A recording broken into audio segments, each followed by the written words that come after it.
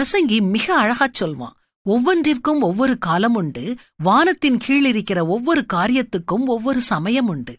ஆமா நாம அந்தந்த காலத்துக்கு ஏத்த மாதிரி அந்தந்த வேலைய செஞ்சிடணும்.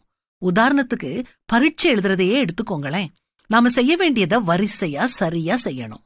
முதல்ல ஒரு சின்ன ஜெபம் பண்ணிட்டு கேள்வித்தாள வாசிக்கணும்.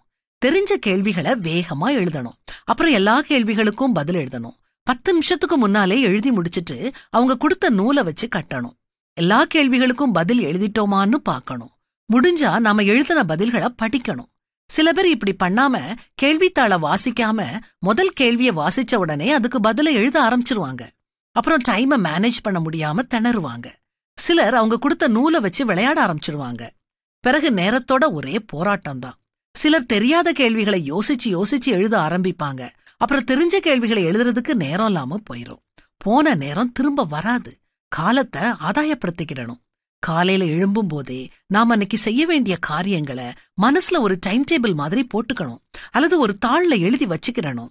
ஜெபம் வேதாகமம் வாசித்தல் உடற்பயிற்சி அறிவு சம்பந்தமான புத்தகங்கள் வாசித்தல் மற்றவர்களுக்கு உதவி செய்தல் வீட்டு வேலை வெளி வேலை அலுவலக வேலை குடும்பத்தாரோடு செலவழிக்கும் நேரம் பொழுதுபோக்கு இப்படி ஒவ்வொன்றுக்கும் ஒரு நேரத்தை கணக்கிட்டு செலவழிக்கணும். ராத்திரி படுக்க போகும்போது நம்முடைய கடமைகளை ஒழுங்கா செஞ்சோமான்னு செக் பண்ணணும்.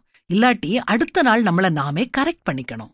நாம இந்த உலகத்துல வாழ்ற காலம் கொஞ்ச காலம்தான். அதனால காலத்தை பிரயோஜனப்படுத்திக்கிறணும்